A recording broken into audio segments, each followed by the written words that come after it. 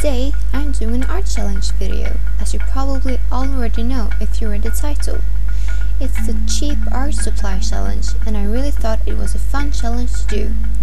I decided to do it after watching several inspiring YouTubers, especially after watching David Montagne's video.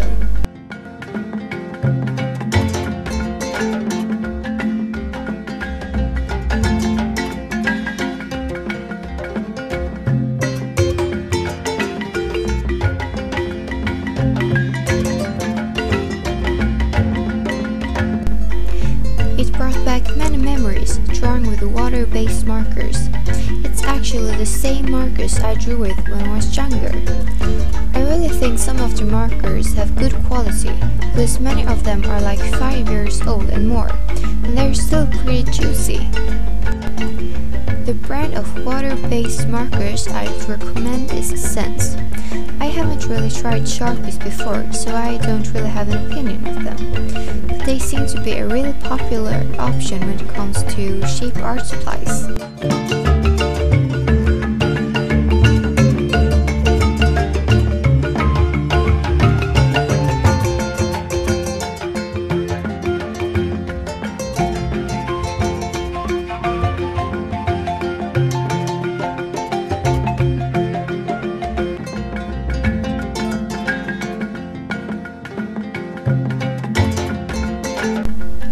It all went really well when I drew with the water-based markers until I got to her face, because I had totally forgotten how opaque they are compared to alcohol-based markers. So most of her facial features disappeared. That was when I decided to use colored pencils too, to give her back her face and then to shade the whole piece, because you can't really layer the colors anyway, which I already knew. And then I decided to draw a simple background with them as well. And after watching Baylee Jae's comparison video, where she compares Copics to Crayolas, I thought it would be interesting to see how the piece would look like with more expensive art supplies. So I drew it again with Copics and shaded it with Prismacolors and Derwent's Coloursoft pencils, but they really aren't that expensive.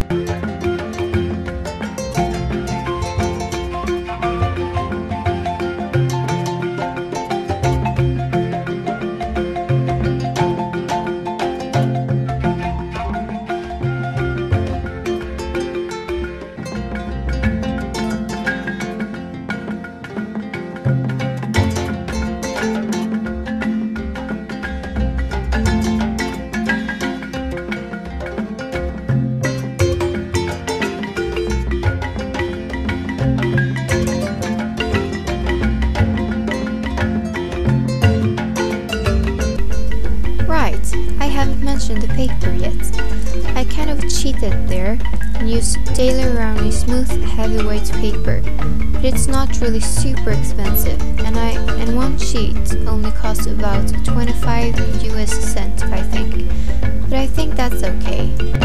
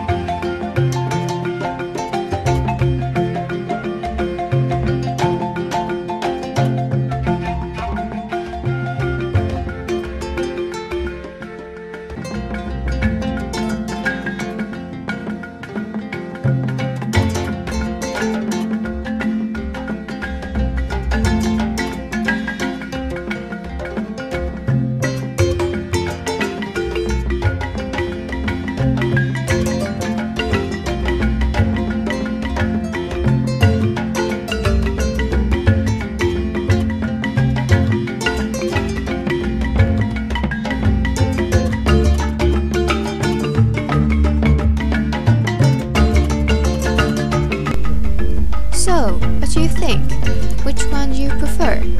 Feel free to tell me in the comment section and I'd be super happy if you want to subscribe to me.